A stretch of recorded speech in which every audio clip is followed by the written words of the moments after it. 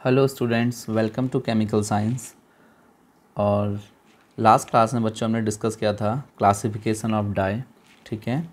और उसमें हमने दो टाइप का क्लासिफिकेशन देखा था, एक on the basis of structure and second type का जो था on the basis of method of application ठीक है? मतलब उस मैथ उस डाई को कैसे अप्लाई किया जाता है फैब्रिक्स में क्लियर तो उसके कुछ एग्ज़ाम्पल जैसे एक लास्ट पहला एग्ज़ाम्पल हमने लास्ट क्लास में पढ़ा था डायरेक्ट डाई तो उसका एक और एग्ज़ाम्पल होता है, बच्चों वेट डाई जो एग्ज़ाम में आता है कई बार, ठीक है?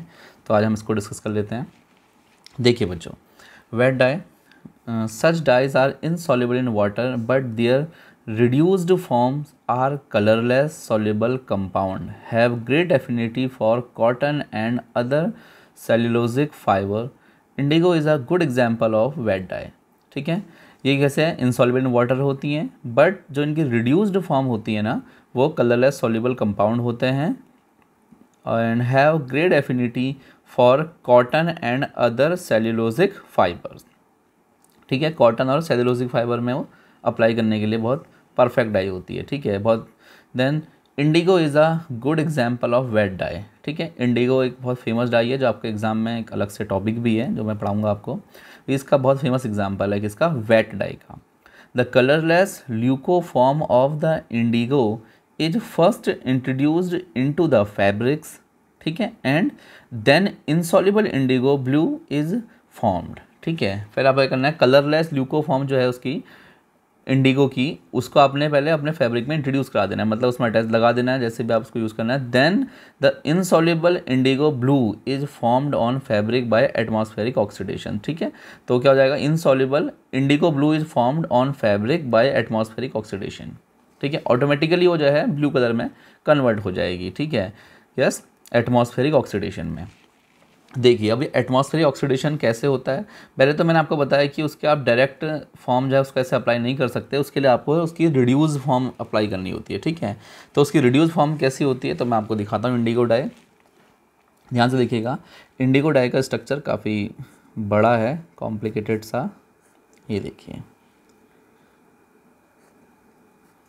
बच्चों, आपको ये स्ट्रक्चर सारे ही याद करने होंगे, ठीक है? आपको बिल्कुल बाय हार्ट ये स्ट्रक्चर होने चाहिए, और ये बच्चों सिर्फ़ प्रैक्टिस से ही आते हैं। ठीक है?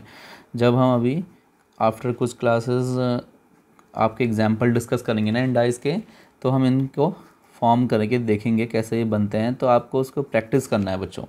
प्रैक्टिस करने के साथ साथ ही आप जो है उसको सीख पाओगे, कैसे ये बार बार आपको फॉर्म करने हैं।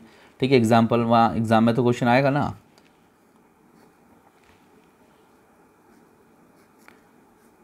ये देखिए, ये आपका इंडिगो डाई है। ठीक है? क्या है? Indigo blue. ये एक्चुअली में इंसॉल्युबल इंडिगो ब्लू है।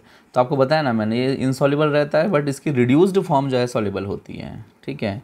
तो ये है आपका इंडी insoluble indigo dye. Insoluble indigo insoluble indigo blue. Yes दिखाई पड़ रहा है। ठीक है इनसॉल्युबल इंडिगो ब्लू ठीक है, अब इसका रिडक्शन करके दिखाता हूँ मैं आपको। एक रिडक्शन ऑक्सीडेशन दोनों फॉर्म एक दूसरे के, वो रिवर्सिबल है। आप चाहो तो उसको फर्दर ऑक्सीडाइज करके यहीं कन्वर्ट कर सकते हो मींस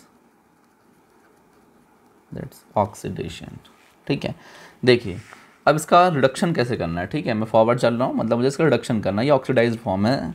पहले रिडक्शन फॉर्म देख लीजिए कैसे होगा। कुछ नहीं करना है आपको, बच्चों, ध्यान से देखिएगा। इस ऑक्सीजन को हाइड्रोजन दे देना है, ठीक है?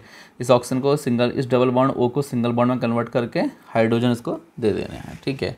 तो देखिए कैसे होता है, मैं बताता हूँ आपको। कंप्लीट स्ट्रक्चर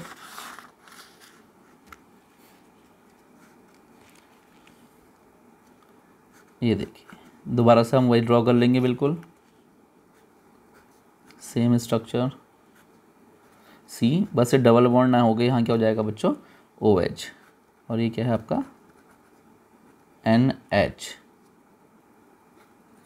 कुछ इस तरीके से। और ये double bond, shift. C single bond C N H and अब फिर से यहाँ डबल बॉन्ड सी और ये ओ एच ये देखिए डबल बॉन्ड। ठीक है। कुछ इस तरीके से हो जाएगा, एक रिंग यहाँ पर भी अटैच हो जाएगी। ये देखिए। ठीक है?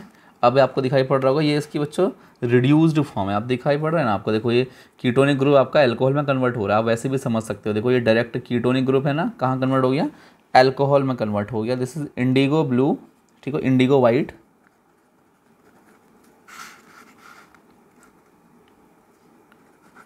indigo white soluble in water.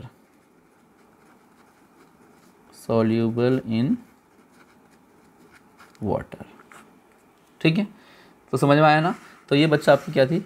Wait die थी, आपने देखा। कैसे वेट डाई है? आप इसको पहले मतलब सॉल्यूशन फॉर्म में जाकर के ही वेट फॉर्म में ही इसको अप्लाई कर सकते हो, ठीक है?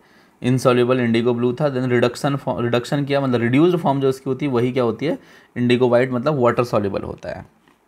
क्लियर तो ये एग्ज़ाम्पल था वेट डाई का।